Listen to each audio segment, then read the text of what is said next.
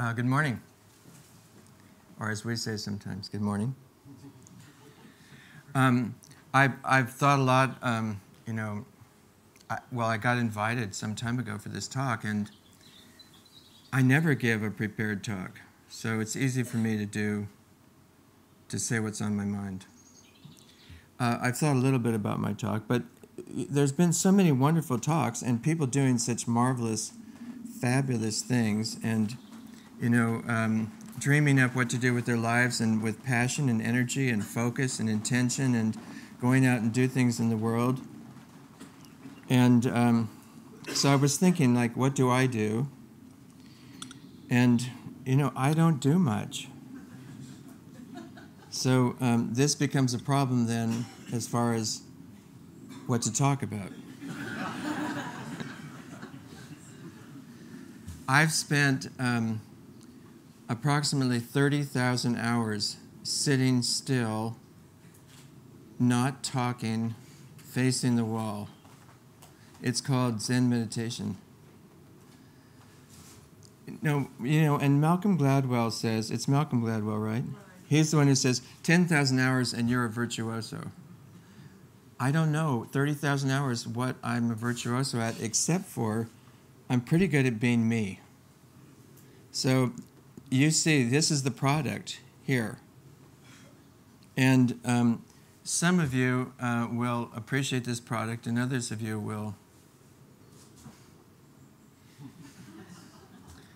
No, thank you. And then some of you will find ways to use this product or interact with this product, and others of you will turn the other direction. And you won't find, you know, much at all to do with this product. You know, this is the way we all are. So, um, but you know, really here at the beginning, uh, before I tell you more about that, and there's a surprising amount to tell you about 30,000 hours of sitting quietly without moving. Uh, there's a lot, um, I could tell you. But as a kind of um, part of this, or a piece of this, I'd like to, well, a little background on this. I want to invite, you know, some spirit into the room, if I may. Is that all right with you? And if you'd like, you're welcome to join me in this. I will help you out with that. But you know, I got here, um, I flew from California. I got to London and, and eventually here. And I stood up by where I'm staying out on the grass, and it's all wet and, you know, misty. It was actually a little, it was pretty clear. And I, I stand there and I'm trying to sink roots into the ground. And the ground is like, I don't think so.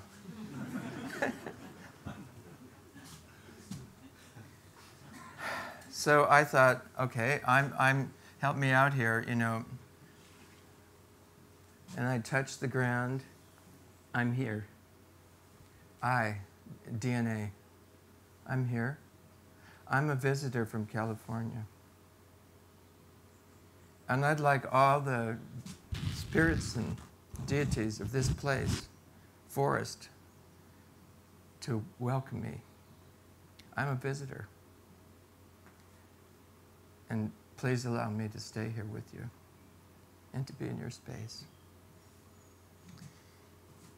And then at first I felt like, you know, oh, yeah, so you're from California, huh?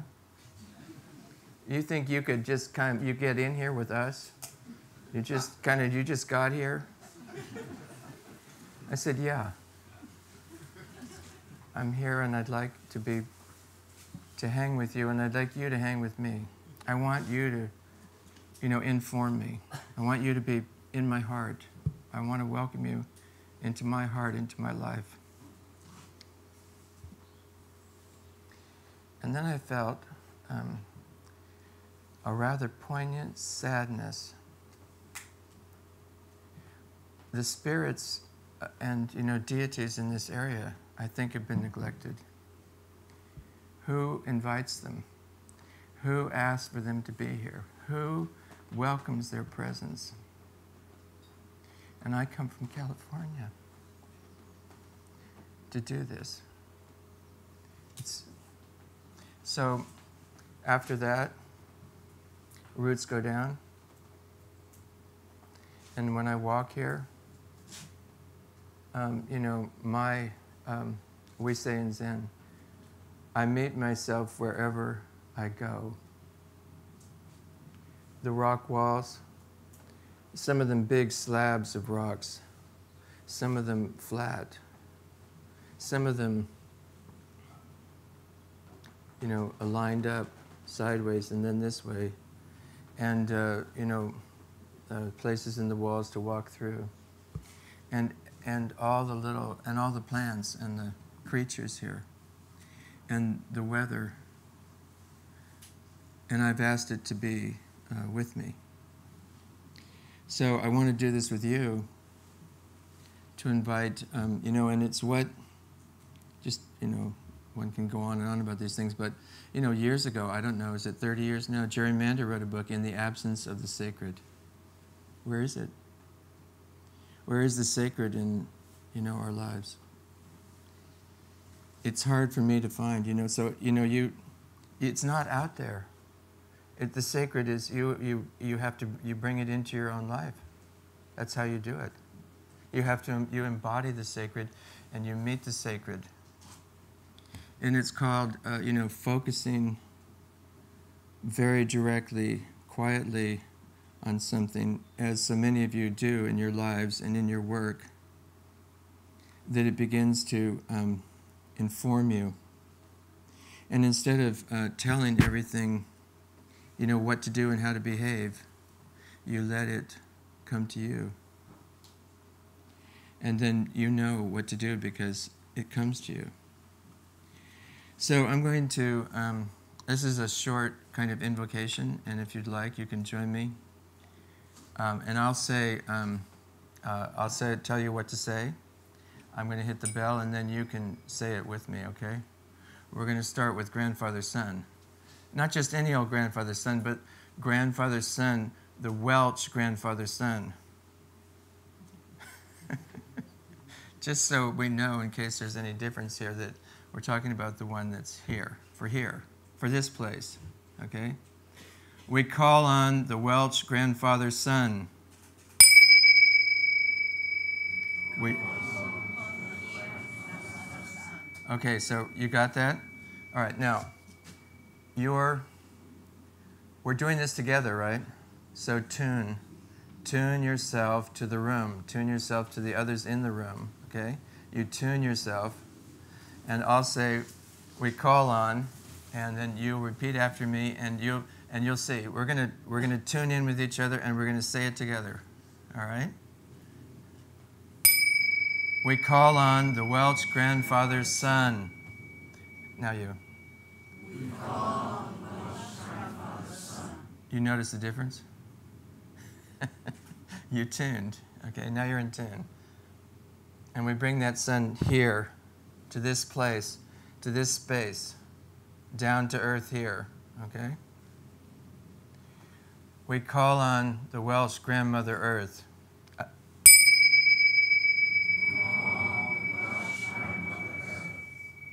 Here, this place, Forest Farm.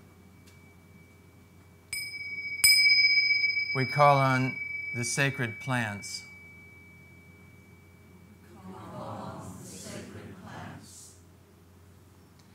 We call on the sacred animals.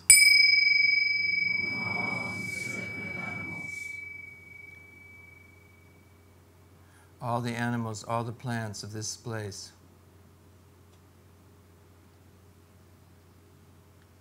To abide here We call on sacred humans.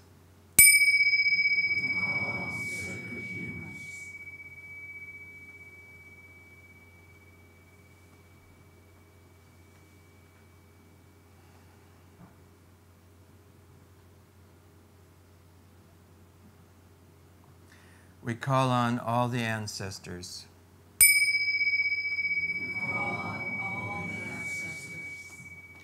Ancestors, in this case, your ancestors, the ancestors of this place, the ancestors of these people, and then all the spiritual ancestors that you may want to invite. I have a lot of them. You may have some too. We want them all here to be in this place, in this space, in this time, right here with us, in our hearts, you know, for our power and energy and strength. Okay? So let's do it one more time and bring in who you want here with you. Okay? We call on the ancestors, the human ancestors and sacred ancestors.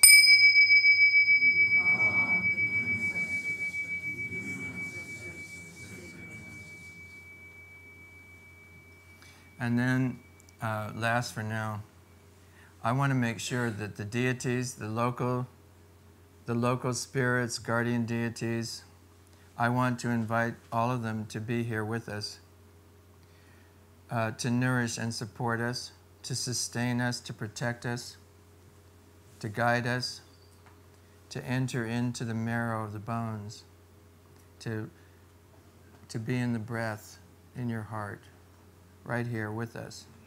Okay?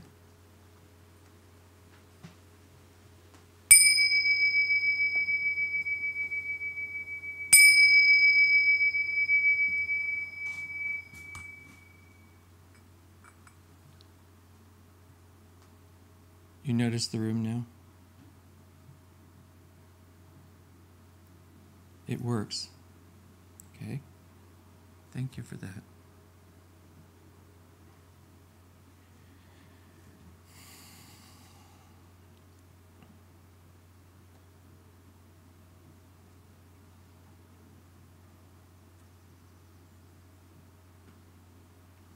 Uh, this uh, so this sacred space. Um, one of the qualities of sacred space is it's a place where you can learn things. You can study carefully, and you can find things out, and you can know for yourself what's what. And you know for yourself what's what because you know for yourself what's what. You don't take someone else's word for it. You don't go to school to learn this. I dropped out of college I was taking social psychology and you know all kinds of things. You know, I wrote a paper about alienation and anxiety. I got an A. I was just as alienated and anxious as ever. Is that good for something? And they call this school and education. You know, take in this stuff and give it back to us. I don't understand that. I want to learn. I want to know something about my life, about me, and how to be a human being. That's what I wanted right from the start. So, um, my brother sent me a Zen story about a young man. Um, in those days, 1965, there was maybe two books on Zen. One of them was Paul Reps' book, Zen Flesh, Zen Bones. So my brother sent me a story, and it's right before Xerox machines. so he wrote it out by hand. A young man writes home to his mother how well he's doing in school, getting good grades, writing great papers. She writes back Dear son, I didn't raise you to be a walking dictionary. Why don't you go to the mountains and attain true realization? So I thought that's for me, and I dropped out at the end of the year. It said reasons for leaving. I put go to the mountains and attain true realization. and then uh, in less than two years, I was in the mountains at the first North America Zen monastery, Tassajara. And I actually got there um, uh, in 1966, the year before, and I started. Um, I was uh, already practicing meditation, and then I got a job in the kitchen and I washed dishes.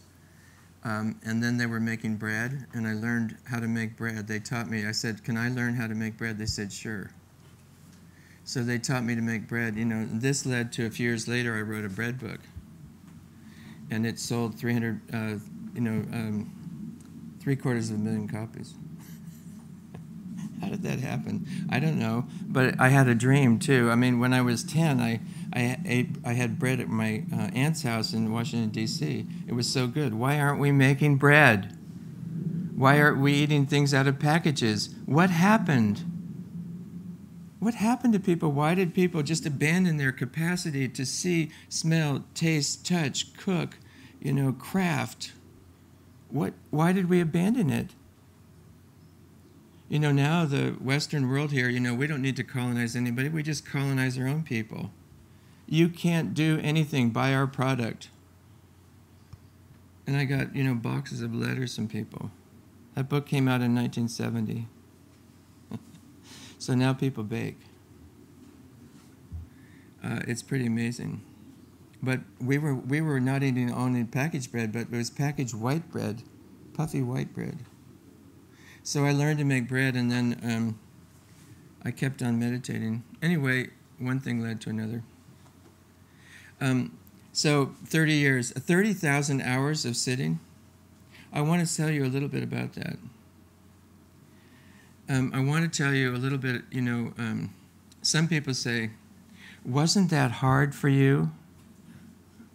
Wasn't that hard for you to sit quietly and not do anything? And, you know, this is, you know, you get up at, oh, 3.30, 3, 4 o'clock in the morning, you sit in the, there's no heat there. You sit in the cold. And then, you know, we'd work all day. And in those days, we were doing all the work. Now, you know, the Zen people, they just hire people to build their buildings. We built our own buildings. we built a kitchen with, you know, three foot wide stone walls at the base. And then the walls go up from there, a foot and a half, 18 inches thick. Okay. 18 inches thick. And we built that building by hand, hauling everything by hand. You know, we and anyway, but to tell you just briefly here, because my time is already running out. Another time, folks. Um, so, as I said, anyway, there's so much to tell you about 30,000 hours, but um, it took me a long time, you know, and I left Zen Center after 20 years. 20 years. I was only up to about 10,000, uh, 20,000 hours then. So I figure in the, uh, since then it's only been another 10,000 over the last 25 or 30 years. Um, anyway, wasn't it hard? No, it wasn't hard because that was me. That's who I am. And it's hard to know what that is, isn't it? Who you are, who I am. And it was only later I thought, you know, I realized one year my brother sent me a letter. I, he was, I was depressed. My brother sent me an email and he said, he wrote me, and he found a letter that my father had written to my aunt, uh, uncle uh, after my birth. And it said, the baby was born a month premature. My mother was named Frances. Franny came home from the hospital a week later, April 1st. The baby came home April the 16th. So she had a very good rest. What was happening to baby Eddie was completely unremarkable. Then, um, when I was three, my mother died. I, and then a few days later, I was at an orphanage for four years before my father remarried. And at the and then when I got there, I was the youngest boy, the youngest kid, the smallest. I sat in a rocker on the porch for a week, wouldn't play with anyone. So 20 years of Zen practice is that post-traumatic reenactment from being born premature. Two weeks, I did my first meditation. Two weeks. After a week out of the womb, two weeks. They weren't holding babies in 1948. So I did my first meditation intensive um, between up to you know between one and three weeks, and then I did my second meditation intensive uh, a month you know a few days after my mother died in 1948. So or was or was I getting ready for my future destiny? Do you know if you follow the James Hillman uh, Soul's Code and um, Robert Bly and people, you know, we all come into this life with a purpose. We're here to do something, and we have our purpose, we have our life lessons, we have what we came here to do, and so many of you have found it. It's, it's really sweet. So um, now I'm convinced, you know, I came here to be this person. And, you know, my name is Edward, so I'm, I tell people I'm always headed Edward, headed towards Edward. Listen, so um, uh, so much to talk about, but I want to tell you a poem uh, to finish up with. Um, this is a poem by a friend of mine named Kay Ryan. Kay Ryan is this year, um, she may have just finished being the United States Poet Laureate. Um, and uh, one of the uh, wonderful stories that Kay's told me is that she was getting, you know, for years rejections for her poems. She finally changed her mailbox. And she put in a big red, bright red mailbox, oversized. and then she started getting all these acceptances for her poems. Very mysterious, isn't it? So this is a poem of hers um, to uh, to leave it with. Um, it's called "On the Nature of Understanding." Say you hoped to tame something wild. Say you hoped to tame something wild and stayed calm and inched up day by day. Or even not tame it, but to meet it halfway. Things went along. You made progress, understanding it would be a lengthy process, sensing changes in your hair and nails. So it's startling when it attacks. You thought you had a deal.